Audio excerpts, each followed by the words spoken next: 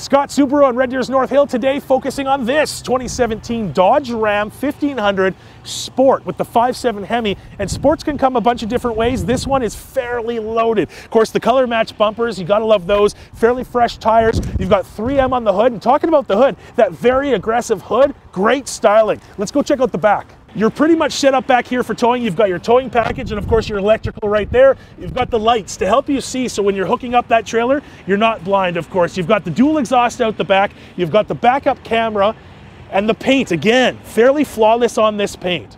And of course, aside from the paint, you've got the big back door so you can get stuff in and out super easily. This is where you spend most of your time. We're inside the vehicle now. Creature comforts everywhere. Of course, you've got the leather seats, and Ram seats are always very nice to sit in. They're very comfortable. You've got the big center armrest, so you're not fighting with their passenger over who gets the armrest. You've got the sunroof, of course, and then you've got some nice stuff here. You've got your tow haul button. Of course, we looked at that towing package. You've then got the heated seat, steering wheel, which we expect from vehicles nowadays, but you've also got the heated seats and then cooled seats as well.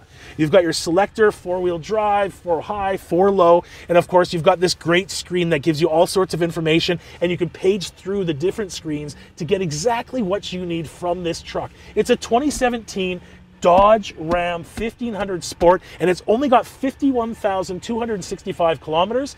And on approved credit, we can do as low as $360 bi weekly, gets you into this truck and everything you need to make your life happen right now. You've got stuff to do. It's Scott Subaru on Red Deer's North Hill.